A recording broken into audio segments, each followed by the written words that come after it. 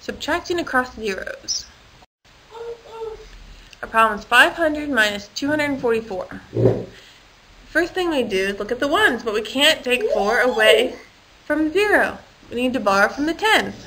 But why can't we? We can't borrow from the tens because there aren't any. There are zero tens. First we need to go get some tens. We'll get tens by borrowing from the hundreds.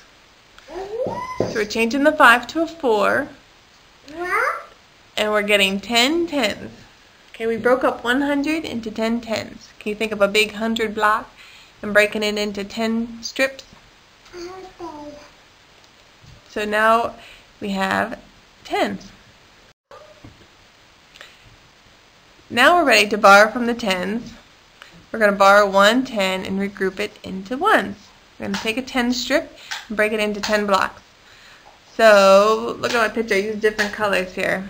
First we borrowed from the hundreds and got 10 tens. Now we need to take one of those for the ones. So I crossed that out in blue, crossed out the 10, and changed it into a 9. And then I gave myself 10 ones. I took one of the 10 strips and broke it into 10 single blocks. And now I have 10 ones. 4 minus 2. So the answer is 256. That's the first problem on your paper. Why don't you do it just like I did so that you will have good practice to do the rest on your own.